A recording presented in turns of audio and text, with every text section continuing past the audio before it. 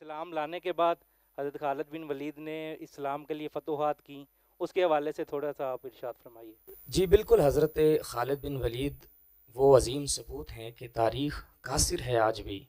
कोई ऐसा नाम पेश करने से ऐसा कोई मर्द मैदान पेश करने से। मैंने आपको पहले अर्ज़ किया कि रसूलुल्लाह सल्लल्लाहु अलैहि वसल्लम जब ये फरमा रहे हैं कि खालिद तुम्हारी फ़हम तुम्हारी फिरासत तुम्हारी अकल को देखकर मुझे अंदाज़ा था कि एक ना एक दिन तुम इस्लाम ज़रूर कबूल करो अल्लाह क्योंकि अक्लमंद बंदा इस्लाम की गोद में ही सजता है। अल्लाह। और जिसको अकल आ जाए अल्लाह उसे इस्लाम की दौलत से सरफराज फरमाता है। हज़रत खालिद बिन वलीद रदी अल्लाह तु इस बात में तो कोई शक नहीं है कि बहादुरी के जौहर आपने दिखाए।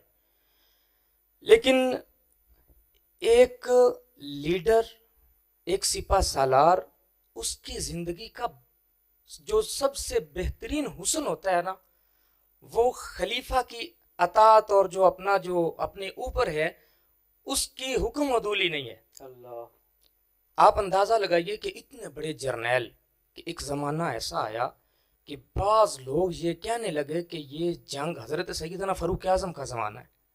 बाज़ लोग से कहने लगे कि ये जंगें हज़रत खालिद बिन वलीद की वजह से जीती जा रही हैं। कोई शक नहीं था इस बात में कि उनकी हमत अमली उसमें शामिल थी। लेकिन चूँकि एक अकीदा मुसलमानों का कि जंगें हमेशा अल्लाह की मदद से जी, जीती जाती हैं अल्लाह किसी के ज़िम्मे भी ये काम लगा दे। हज़रत उमर रदी अल्लाह तु ने हज़रत खालिद बिन वलीद को जो उस वक़्त कमांडर इन चीफ थे इस्लामी फ़ौज के सिपा सालार थे आज किसी सिपा सालार को कोई बात करने की ज़रूरत ही नहीं है किसी में। आपने फरमाया खालिद आज से मैं तुम्हें माजूल करता हूँ तुम्हारे इस अहदे से हटाता हूँ। तारीख गवाह है हज़रत खालिद बिन वलीद ने अल्फाज तो दरकिनार आपके सब्र का आलम यह था इतनी बड़ी फौज की कमांड के बावजूद अपने माथे पे एक तेवरी भी नहीं लाए अल्लाह। और ऐसी मिसाल सिवाय इस्लाम के और कोई मज़हब इस कायनात का पेश नहीं कर सका। ये अजीम सबूत इस्लाम के दामन में जब से आए हैं अल्लाह रब्बुल इज़्ज़त ने उन्हीं के कदमों के सदक़े से फिर फतूहत अता फरमाई। आप अंदाज़ा लगाइए कि वो कैसरो किसरा जो किसी ज़माने में जिनका तुती बोलता था हर दुनिया हरकल के मुकाबले में आप सल्लल्लाहु अलैहि वसल्लम ने भेजा उनके जी। एक लाख की फौज के सामने तीन हज़ार का लश्कर। तीन हज़ार का लश्कर लेके जाते हैं और फिर हिकमत अमली आप देखिए कि किस अंदाज के साथ फिर फतूहात के दरवाजे वो खोलते हैं और फिर मुल्कों के मुल्क फतह करते जाते हैं इस्लाम और की नबी पाक सल्लल्लाहु अलैहि वसल्लम की स्ट्रेटजी भी देखी है आपने। आपने कमांडर बनाकर नहीं भेजा हज़रत खालिद बिन वलीद को कि मुसलमानों के दिलों में ये बात थी कि आपकी वजह से अहद में नुकसान हुआ था। मुसलमानों का। तो आप वसल्लम ने इरशाद फरमाया कि वहाँ पर अगर फ़लाँ शहीद हो जाए तो फ़लाँ उसकी क्यादत करे लश्कर की अगर फ़लाँ शहीद हो जाए तो उसके बाद ये करे।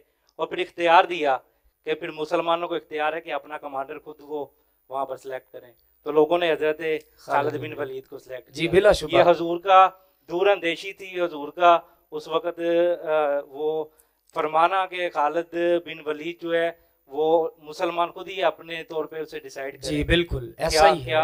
इसमें इंतखाब देखिए रसूलुल्लाह सल्लल्लाहु अलैहि वसल्लम की जब बात आती है तो कायनात की सारी अकलें इकट्ठी कर दी जाएँ सारी हमत अमलियाँ इकट्ठी कर दी जाएँ सारी स्ट्रेटजी इकट्ठी कर दी जाए तो वो कहीं ना कहीं खड़ी हुजूर के किसी सहाबी के दर से भीख मांग रही है। अल्लाह अल्लाह यह रसूलुल्लाह सल्लल्लाहु अलैहि वसल्लम का ही अंदाज है आका सलाम बंदे पैदा कर रहे हैं मर्द मैदान के पैदा फरमा रहे हैं और फिर साथ हिकमत अमली भी दे रहे हैं।